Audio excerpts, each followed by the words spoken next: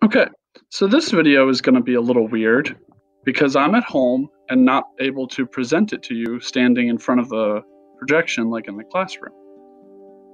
So we're moving into our next unit, Unit 5, Chemical Reactions. So first off, as usual, we have some definition type things. The reactants are on the left side of the arrow and the products are on the right side of the arrow. And the chemical reaction, as it says, is a change in which one or more substances are converted to different substances. One of the most important chemical laws of chemical reactions is this law of conservation of mass. You see, in a chemical reaction, matter is not created or destroyed. I'm sure you've heard this before. Atoms can only rearrange, and this was discovered by this guy named Antoine Lavoisier. So here we have some atoms. We have four hydrogen atoms and two oxygen atoms. So we are going to rearrange those into, on the right side, two molecules of water. But we're still going to have the same number of each type of atom. We're going to have four hydrogen atoms and two oxygen atoms. So in this way, matter is not created or destroyed. Okay, this is like a written out chemical equation. Aqueous lead 2 nitrate plus 2 units of aqueous potassium iodide produces solid lead iodide and 2 units of aqueous potassium nitrate. The coefficient, which is the number in front, represents the number of units of each substance. So we have different ways of talking about these coefficients. When they're individual atoms, we just use the word atom. So when it's just 2mg, we could say 2 atoms of magnesium. That's an example. When it's a covalent substance, such as CO2, that's called a molecule, so we call it three molecules of carbon dioxide. When it's an ionic substance, we call them compounds, so that would be like four compounds of magnesium oxide. I hope you remember the naming systems of ionic and covalent from last unit.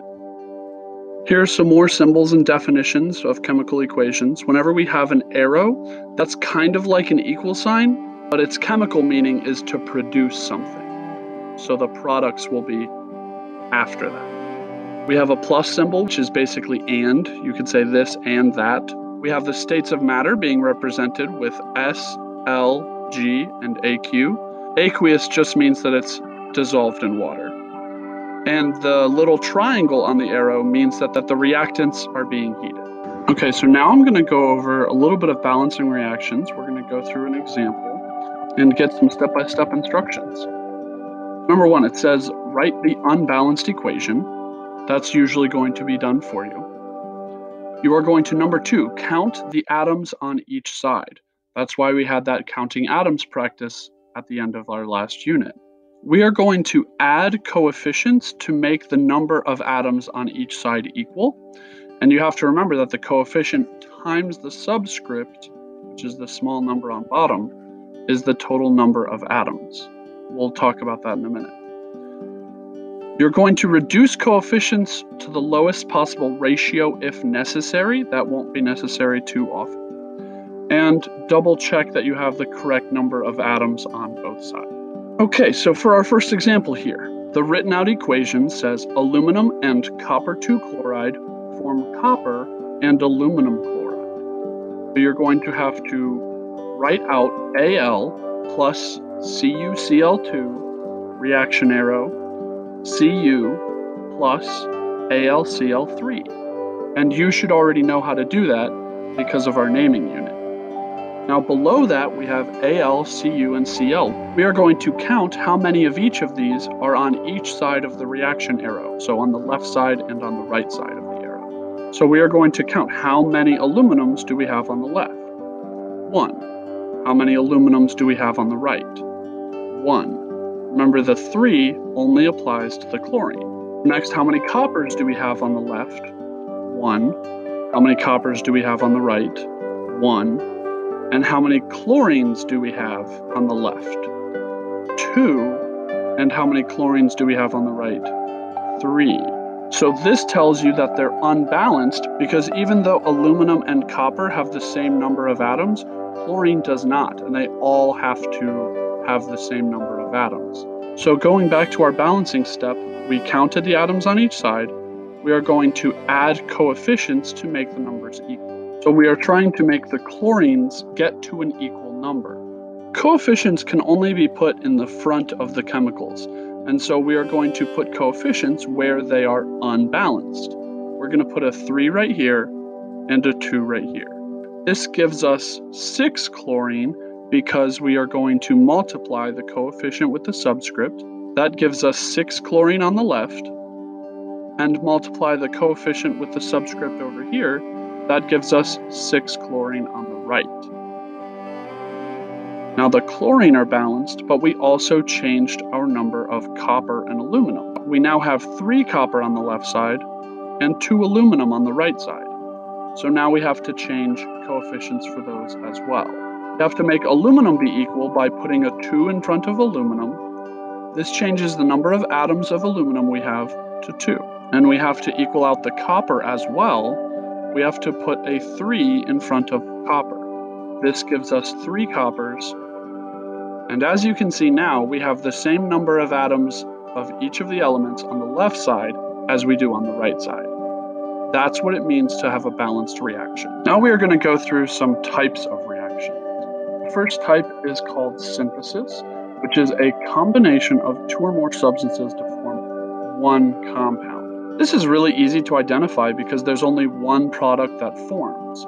It might look like there's the same stuff on both sides, but with an example, you might be able to see that there's only one product being formed on the right side, meaning there's not a plus over here. That's how you know it's a synthesis reaction.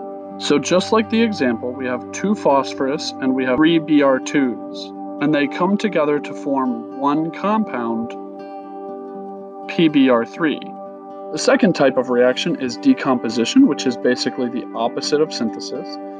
One compound breaks down into two or more simpler substances. You can identify this one because there's only one reactant. In this one, we have hydrogen peroxide decomposing into two molecules of water and a molecule of oxygen. There's not going to be a plus on the left side of the arrow. Our third type of reaction is single replacement, where one element replaces another in a compound. This could be a metal replacing a metal or a non-metal replacing another non-metal.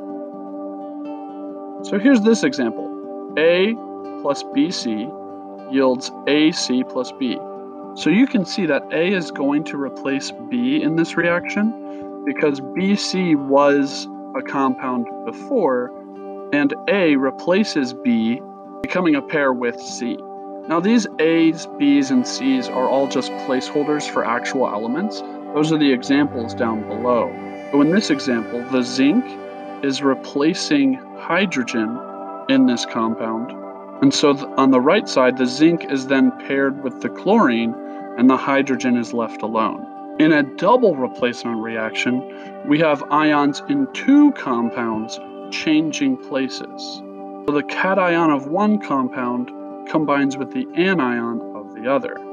Remember in our naming unit, we always named the cation first and the anion second. So that means A is going to switch spots with C, and after the reaction, we are going to get a paired with D and C paired with B. You can look at it as A and C are switching places or that B and D are switching places. Okay, for our real chemical example, we have potassium hydroxide and copper sulfate. And after the reaction, the potassium is going to be paired with the sulfate. And what's left is going to be copper hydroxide. Let me know if you're confused on either the naming or where these subscripts come from. We covered that a little bit in class in our last unit. Okay, our last type of reaction here, combustion. This will always involve the burning of a substance, and it will always involve oxygen, because fire needs oxygen to work, right? So in this reaction, we're always going to have some type of hydrocarbon, which is carbons and hydrogens bonded together.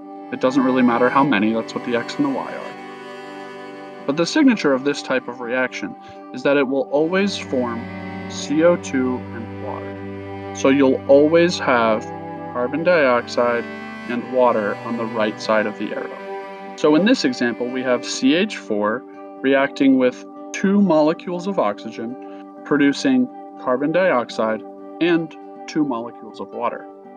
Okay, and for the last part of our unit, we're going to talk a little about energy and how that's involved in chemical reactions. Okay, so in the middle of chemical reactions, energy is actually used to break bonds. This means you have to put energy into a reaction in order to break the bonds. Whereas when new bonds are formed, energy is actually released or energy is given off. And this usually is in the form of heat or light. So we can label reactions as either exothermic or endothermic. We call something exothermic if the reaction releases energy.